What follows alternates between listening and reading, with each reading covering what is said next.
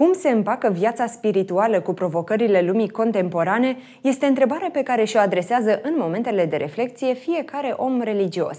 La această întrebare a încercat să răspundă diaconul Sorin Mihalache în cadrul unei conferințe care a avut loc ieri seară la Onești.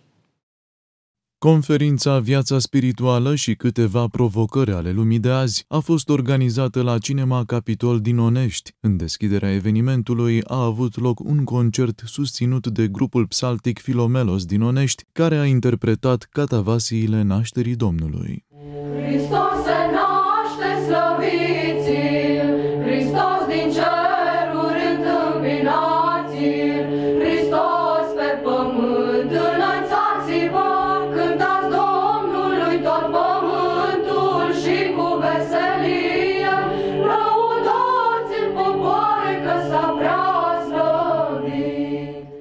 În partea a doua a conferinței, invitatul special, părintele diacon Sorin Mihalache, a răspuns întrebărilor venite din public, iar la final a prezentat lucrarea intitulată Lumina celui nevăzut.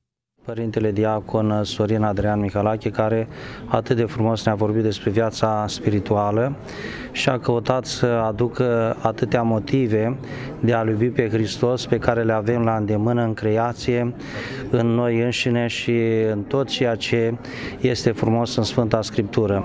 În seara aceasta am încercat să deslușim împreună ce anume presupune viața duhovnicească în maniera în care Filocalia o recomandă, Sfinții Părinți o adâncesc și societatea contemporană o provoacă.